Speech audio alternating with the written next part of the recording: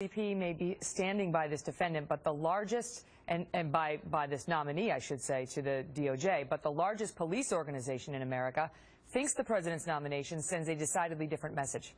And in a letter to the president, the National Fraternal Order of Police president writes, quote, this nomination can be interpreted in only one way. It is a thumb in the eye of our nation's law enforcement officers.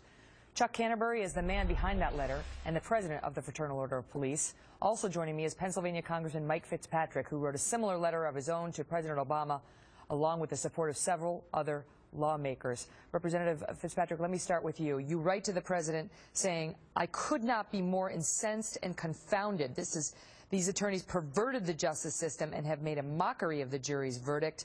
You urge him to reconsider the nomination. Why are you so incensed?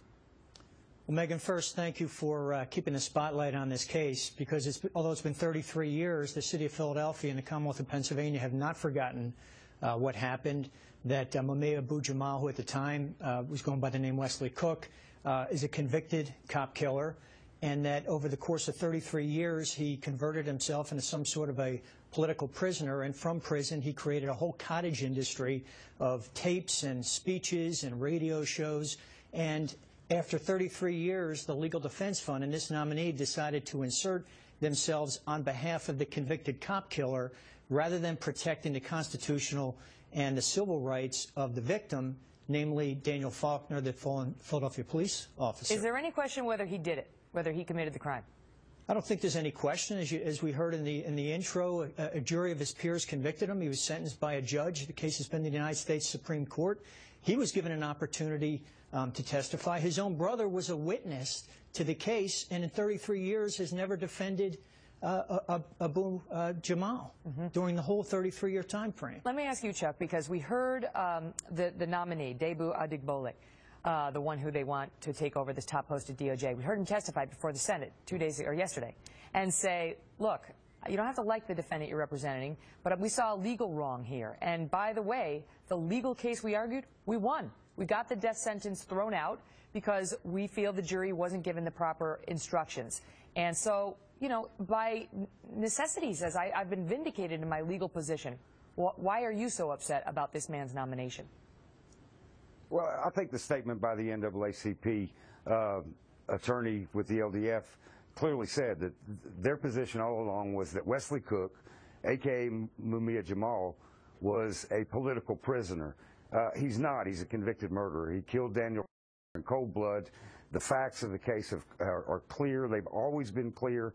And the, the fact that they interjected themselves and helped him to become a cause celeb all over the world, not just in the United States. Uh, St. Croix, France tried to name a street after Mumia Jamal. He's a murderer. And, and they helped to promulgate the fact that he was some sort of political prisoner is absolutely ridiculous. So they weren't court, court, appointed. I mean, this is they volunteered. This guy included this absolutely. nominee. He volunteered to help this man. Absolutely, and, and many uh, people in the organization led rallies all over the country to free Mumia, free Mumia. He's a convicted murderer. The court said he was a convicted murderer 32 years ago. He's never, those charges of murder have never been disputed by Wesley Cook, and uh, the only part of the case uh, that was overturned was the death sentence. And, uh, and, and frankly, uh, we're not concerned about that. What we're concerned about is that they turned a cab driver into a martyr, and he's not. He's a murderer. Representative, uh, my question to you, he, he is his defense when questioned about this before the Senate Judiciary Committee, because this guy needs to be confirmed, was, I'm a lawyer. Lawyers represent a lot of people, good, bad. You know, it doesn't mean that we're just like them. It's a matter of upholding the Constitution. Why is that not an acceptable answer to you? Well, certainly, you know, that's an answer, but, uh, you know, he could have inserted himself in any one of a number of cases throughout the country.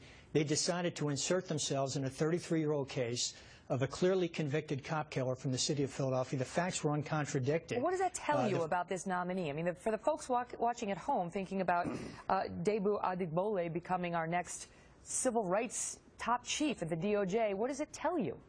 His attorneys at the conclusion, uh, attended a rally in the city of Philadelphia and said they could not have been prouder than to have had the opportunity not to represent justice, not to fight for the Constitution, but to represent Abu Jamal. And the fact that they chose to insert themselves in this 33-year-old case pretty much tells you all you need to know about this nominee and about the administration's commitment to constitutional and civil rights of victims and of police officers. Wow. And I know, Chuck, that you say it is a thumb in the eye, that it demonstrates a lack of regard or empathy for those who strive to keep the president and everyone else in our nation safe. We will see whether the, whether the nomination proceeds as expected. Gentlemen, thank you both. Thank you, Megyn. Thank you, Megyn. Up next, watch this.